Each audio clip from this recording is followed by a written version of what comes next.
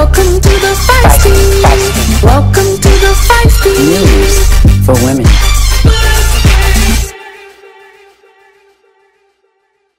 Hello and welcome to the Feisty News for Women. I am T. Erica. I present important women's issues and fearless feminine voices disrupting our society. Today is April 4th, 2022. Here is the Feisty News for Women. Representative Alexandria Ocasio Cortez of New York is pushing for impeachment proceedings for Supreme Court Justice Clarence Thomas if he refuses to resign from the Supreme Court. Representative Hank Johnson of Georgia, who chairs the House Judiciary Subcommittee that oversees the courts, agrees with the call for Thomas's resignation. The controversial debate stems from evidence that Justice Thomas's wife, Ginni Thomas, sent text messages to White House Chief of Staff in support of the overturn of the 2020 election, which President Biden won. The news sent shockwaves through the judicial court as officials recognized that Justice Thomas had been the only person who voted to back Trump's request that the court block the National Archives from turning over certain White House documents being sought by the House January 6th committee. The House January 6th committee is the group that has been investigating the insurrection where a mob of more than 2,000 Trump supporters stormed the Capitol in a bold attempt to disrupt the joint session of Congress assembled to count electoral votes that will formalize President elect Joe Biden's victory. Politicians calling for Justice Thomas's res- resignation are very clear that he has violated murky ethical codes by participating in the decision to release the White House documents to the House committee investigating the insurrection. Did Justice Thomas act unethically by being a part of a case investigating the contributors to the wildly shameful January 6th event? Is being married to a woman who supported the secret plot to illegally overturn the election results enough to have him impeached? Yes, and yes. Justice Clarence Thomas is married to a woman who does not support the democratic process that he represents publicly. He had to be elected many times to finally sit on the US Supreme Court.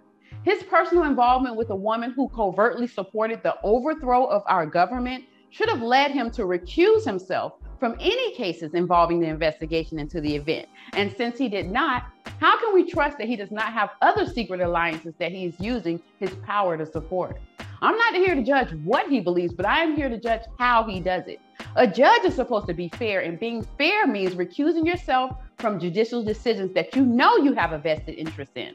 And being the only person on the Supreme Court to vote to block access to White House documents that could shed more light on who was involved in organizing the shameful insurrection. And then later learning that his wife is implicated as a supporter of the insurrection, Thomas publicly let everyone know that he supports his wife's decisions. He could have voted along with the others to hide his support for his wife's stance against democracy, but he chose to take a public stand and be the only one to vote for blocking access to the White House information. He could have excused himself, but he did not. With this new information, I agree with Representative Alexandria. He's as covert and cannot be trusted to make fair decisions for our country. In other news, Caitlin Clark, a former law clerk for senior U.S. District Judge C. Ashley Royal of the Middle District of Georgia, testified before a U.S. House of Representatives panel that she believes that she was fired because of her pregnancy. In a written testimony, Caitlin described how her pregnancy was treated as a burden and an inconvenience, and that she felt belittled because of it. Caitlin said that after learning about her pregnancy, a career law clerk complained that she would never get work done now. The clerk then became hypercritical of her work and made excessive and often contradictory edits, leading to her being fired for not being fit for the job. Judge Royal then called Caitlin to his home to reprimand her, telling her while clerking may be a good mommy job, work still has to be done. He then rescinded his prior offer to extend her clerkship by two years. Caitlin's complaint was heard by another judge in Royal's court who ruled against her. Her appeal was rejected immediately. Unfortunately, court employees aren't protected in the workplace by the Title VII of the Civil Rights Act. Pending legislation, the Judiciary Accountability Act would extend the same protections to judiciary workers. According to Law 360, the federal judiciary's workplace conduct working group said it has taken extensive steps to address discrimination and harassment, including the initiative to have employee complaints be examined by judges from different courts than where the complaint originates, because judges working in the same local court system will likely support each other in their rulings. Well, good. Supporting our judiciary system is just as significant as any other protected job. And as we can see, there needs to be clear checks and balances for grievances in the workplace. Title IX of the Education Amendments of 1972 is a federal civil rights law that prohibits discrimination on the basis of sex, including pregnancy and parental status, in educational programs and activities. The same protection needs to be afforded to women in the judiciary field. Not allowing a safe space to resolve grievances will lead to rampant abuse by those in authority. When women cannot speak up and be heard, we all lose. In other news, we've all heard about the battle against revenge porn, where oftentimes jilted exes threaten to expose nude photos on the internet out of spite. Women are usually the victims of such disgusting behavior, yet recently, a 17 year old male teenager in Michigan killed himself six hours after blackmailers threatened to release a na- naked picture of him. The blackmailers had set up a fake Twitter profile posing as an attractive girl and began speaking to him before sending a naked photo of the girl to the teenager. DeMay, thinking he was engaging with another teenager, sent a new photo of himself back to the girl. But then the girl demanded $300 or she would release the photos publicly, police said. But even after he paid the $300 to the blackmailers, they reportedly demanded more and asked for $1,000 for the teenagers. According to local sheriffs, of course, the teenager couldn't pay, and he told them, You win, I'm going to kill myself. The criminals responded with, Go for it. Unfortunately, the teenager committed suicide shortly after the exchange. The internet has created a new wave of criminals and classifications for new crimes. Let's learn about sextortion. To give us an overview of this addendum to revenge porn, we have Carrie Pasquariello, CEO and co-founder of Global Secure Resources Incorporated. Carrie is a speaker and author who is a victim advocate that took her overseas experience with the private sector and State Department and turned it into a platform to help others navigate safety online. Carrie, please help women remain safe by offering insight into sextortion. What do we need to do to avoid it? Thank you so much for having me today on the Feisty. I'm so thrilled to be here. But yes, strategizing your safety for women is critical. And one of the things that we see, especially now with so many people on the dating websites, is sextortion and other forms of abuse that happen online. And in person. So, one of the most important things for us to do is to really strategize our safety with strategies, tools, and techniques. And this is what is in my, my presentation and programs for women. I have a perfect example for you. So, there was a, a group of women who were um, online dating, and they hooked up with some men that were over in uh, another country. And they developed this relationship, and it was months typically these types of romance scams will be two to three months. What happened was the person, you know, showered this person with lovely messages, how much they love them. And there was even a marriage proposal in the works. And, you know, they were inviting the woman to come to their country to live in their mansion. It was going to be a beautiful life. And then they asked for a topless picture. These women sent the, the topless picture. The next email that came was $10,000 or this is going to the place of your uh, business. This is going to your family. This is going to your children. This is going to your church because they had already developed all this intel on the person they were dating, right? And so all of these women went to the local police department and they said, What can we do? The, the, you know, we're being blackmailed. And the police station said you have to call the American embassy in the country where these calls were coming from. Of course, the women did. The regional security officer, unfortunately, had to tell them there was nothing he could do. So, the point of our strategizing your safety is we have to make sure that anytime we're giving up any type of picture that's inappropriate in our mind, that it can become public. And we have to make sure that we're owning whatever picture we take and we're not going to be blackmailed by anybody because what happens when somebody blackmails you they'll ask for 10,000 you give it they'll ask for another 10,000 and it keeps going there's no stopping it until the picture's released So we want to make sure that we're going to eliminate that issue. We're only going to be taking pictures that we can own and say, yep, that's me. And we'll never be blackmailed. Wow, being bold enough to own up to the photos and not allowing any criminals to have the power to shame you is the best recourse for sex extortion. Thank you so much, Carrie, for this awesome wisdom for women. Oh, it's time for a break. What new fashion trend is scaring the daylights out of women? Which singer was honored with a Grammy for celebrating being a hoe?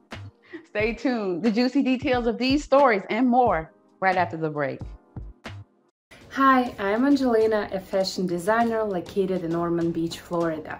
I'm also an owner of luxury handmade lingerie online boutique.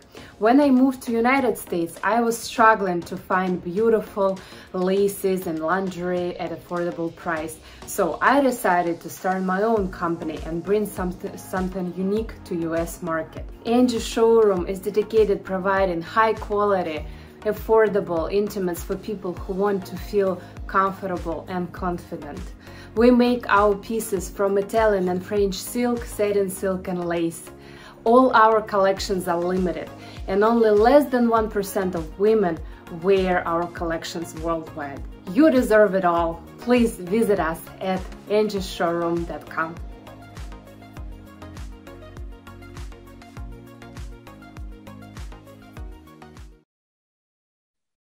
Welcome back. I am T. Erica with the feisty news for women. Girl, guess what? The US Grammy Awards 2022 aired last night, and thankfully, there wasn't a scandal to overshadow the achievements of women in music. A remarkable win came for Jazmine Sullivan, who won the Best R&B Album for Heaux Tales, an album that explores female sexuality, relationships, love, heartbreak, and other feminine themes. Jazmine, who we all remember from the 2008 hit song, Bust Your Windows Out Your Car. Well, she did not disappoint with this compilation of stories about different women going through the motions of life. If you haven't already, you should check out Heaux Tales on your favorite music streaming platform.